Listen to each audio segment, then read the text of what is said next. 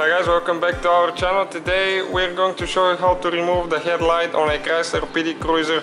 We're doing the right side, but it's identical for the left side. So we need to remove the grille first. You, you can click on the video to see how to do that. And now right here we have the video on our channel. Now right here you have one bolt, one screw and one on the other side with a 7 millimeter socket right there. So we need to remove those two first.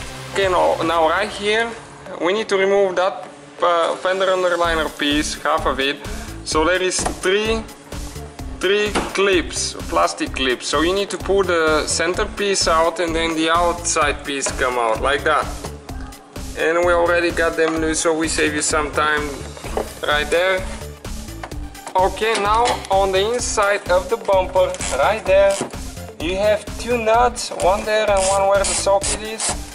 A 10 millimeter socket, you will need to remove those nuts.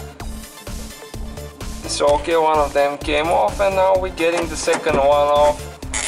They're usually not very tight, but sometimes they get corroded there. It depends if you drive the car in snow and ice. Okay, right there, the second one. And now we need to go to the driver's side and we need to turn the tire to the right so we can access the clips on this side and we remove them. Okay, we have three clips again here, but as you can see ours is missing because that piece was loose. Somebody didn't put the clips and it was rubbing against the tire, so it's melted now and it's not there anymore. And again, on the inside of the bumper, we have two more nuts with 10 millimeter socket, just identical like the passenger side. Okay, one of them is off and now the second one.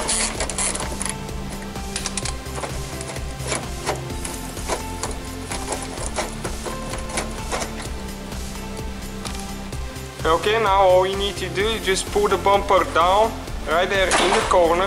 The bolts are holding it. And come on this side and it already got loose. And as you can see the bumper came right off.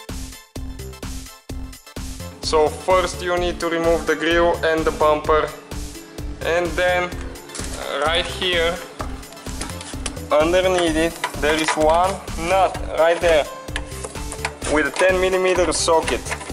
It's a little hard to get to but if you if you cannot get to it but with normal socket it's easy to get to and it's not very tight. You have to remove the underliner if you want more space. And now right here on the top, in the corner, right there, there is another nut with a 10 millimeter wrench that we need to do. They usually get very loose.